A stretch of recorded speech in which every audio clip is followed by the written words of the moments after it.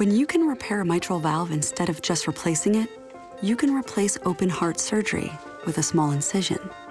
And the shorter recovery times do more than change the course of medicine. They change the course of lives. And that's something we will never stop trying to make even better. New Jersey's most successful minimally invasive heart surgery is at Hackensack Meridian Health. Keep getting better.